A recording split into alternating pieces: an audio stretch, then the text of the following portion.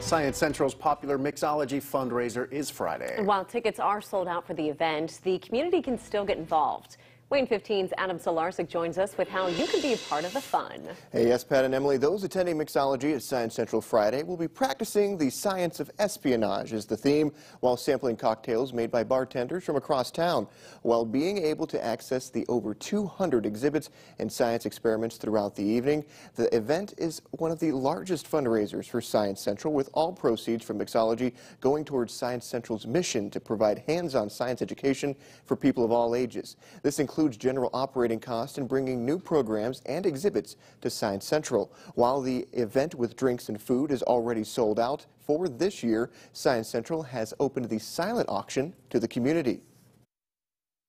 Uh, hit that live auction. There's lots of items available. Uh, days in Fort Wayne, different uh, restaurants that are available, and some of our Science Central programming. Bring us to your kids' classroom. Uh, birthday parties are available. Uh, membership is up there, so lots of Science Central goodies as well.